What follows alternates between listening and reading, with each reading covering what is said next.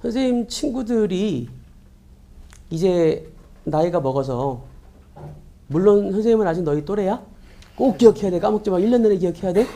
알았지? 꼭 형이라고 불러야 돼. 아저씨 그러지 말고. 선생님 친구들은 아저씨들이야. 이제 다 아저씨들인데 어제 친구가 그러는 거야. 갑자기 어제 단톡방에다가 친구 녀석이 자기 갑자기 휴가를 얻었대. 일주일이 휴가를 얻었대. 와이프랑 애기들이 다 처갓집에 갔대. 자기 혼자 냅두고 너무 신나하는 거야. 아직 너희 그런 느낌을 모를 거야. 그랬더니 애들이 친구들이 전부 다 진짜 진심으로 진짜 부럽다 이러는 거야. 어 진짜 부럽다 막 이러고 있는 거야. 그랬더니 한 놈 그 총각인 놈이 이해를 못 하는 거야. 그게 왜 이러고 있는 거야. 너희가 당해봐야 돼? 당해봐야 알아. 항상 결혼은 늦게 절대 선생님처럼 일찍 하지 마. 되게 일찍 했어. 엄청나게 일찍 했어. 20대 했어. 아직도 20대지만 20대 했어. 웃는다? 웃으면 안 돼? 20대라고 해? 일찍 했어. 일찍 해서 후회를 하고 있어. 소개팅으로 만났거든? 소개팅으로 만났는데 그 소개팅한 친구들을 아직도 안 보고 있어. 거의 원수가 됐어. 선생님이랑 원수가 됐어. 그 되게 특이하게 만난 거지 사실. 특이하게 만난 게 뭐 사실 그 보통 주변의 친구들 보면 좀 약간 끼리끼리 해. 뭐 의사애들 보면 꼭 의사애들이랑 해. 보면은 의사끼리 그냥 결혼을 하고 약간 비슷한 부류끼리 하는데 선생님은 진짜 극과 극이야. 그냥 공부도 한 사람과 안 한 사람이고 성격도 그냥 선생님은 그냥 약간 차분한 편이고 그냥 불같아. 완전 극과 극이야. 먹는 것도 다 달라. 그게 연애할 땐 다 좋아 보여. 좋았던 게 뭐냐면 먹는 게 반대니까 내가 얘를 좋아하면 얘는 얘를 좋아해. 안 겹치잖아. 너무 좋은 거야. 라고 착각을 했지. 꼭 명심해야 되는 게 너희들 명심해야 돼. 대학교 가서 소개팅 미팅을 많이 하게 될 거야. 선생님도 진짜 많이 했거든. 많이 애들 많이 해. 많이 했는데 만나고 내숭에 속으면 안 돼. 절대로 엄청난 내숭에 속았어. 엄청난 내숭이었어. 아니 와이프를 만날 때만 해도 그러니까 이제 우선은 만난 이유가 한참 군대를 제대하고 한참 이제 여자친구를 찾고 있을 때야. 마침 엄청 찾고 있을 때고 그리고 엄청 미팅 소개팅을 하고 싶어서 난리를 칠 때야. 근데 절대로 복학생은 많이 들어오지 않아. 아무리 잘나도 대학교 1학년 때는 미친 듯이 들어와.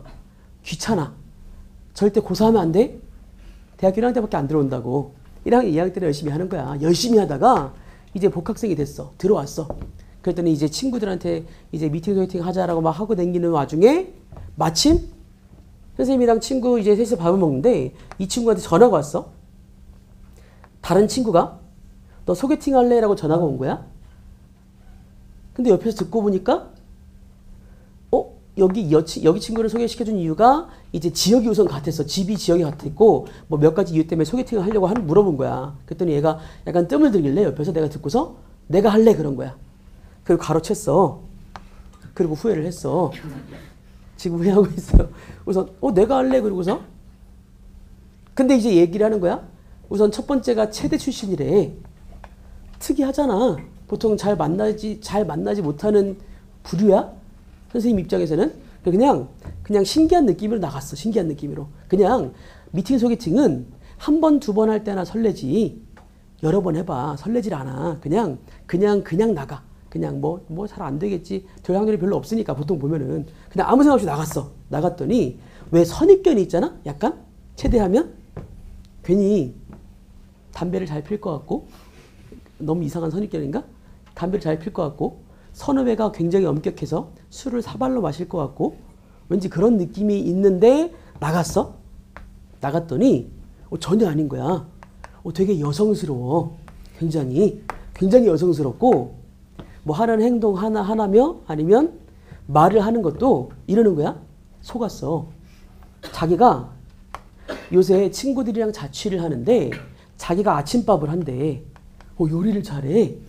어, 되게 의외였어? 두 번째에서 갑자기 또 꽂혔어? 두 번째? 요새 나의 취미 생활은 십자수래. 자기가 십자수를 한대. 이런 내숭에 속은 거야. 근데 나중에 알고 봤더니 전혀 그런 사람이 아니어서 나중에 열받아서 나는 따졌지. 야 뭐냐? 이때 얘기한 거 다 뭐냐 그랬더니 자기는 절대 거짓말을 안 했대. 절대로. 자기는 그때 세 명이서 번갈아서 일주일씩 밥을 했을 뿐이고 마침 나랑 만났을 때 자기가 당번했을 뿐이래. 그걸 거짓말한 게 아니래. 그리고 그럼 십자수는 뭐냐 따졌어. 그랬더니 자기는 십자수를 딱 일주일 해봤대. 그때 마침 너를 만난 것 뿐이래. 네가 재수 없는 거래. 이러고 있어. 속으면 안 돼. 알았지?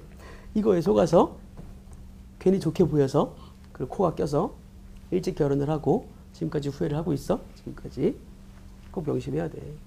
항상 결혼은 거다 즐기고 여러 사람 다 만나보고 늦게 하는 거야. 알았지? 늦게 하는 거야.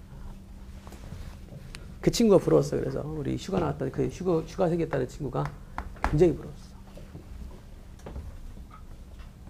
들으면 놀랄 거야. 우리 와이프에 대한 얘기를 들으면 가끔 얘기해 줄게. 그러면 진짜 생각도 못한 별의별 짓을 다 해. 아까 얘기했던 그 선입견이 원래 다 맞았더라고. 담배도 많이 폈었던 거고 옛날에. 아 이 말하면 나 죽는데? 어, 뭐 그냥 맨날 친구들 만나면 그 체육관 친구들 뭐 그런 사람들 만나면 진짜 사발로 먹어 술을. 진짜 막 이 대짝을 갖다 놓고. 내가 한두 번 끌려갔거든? 연애할 때는?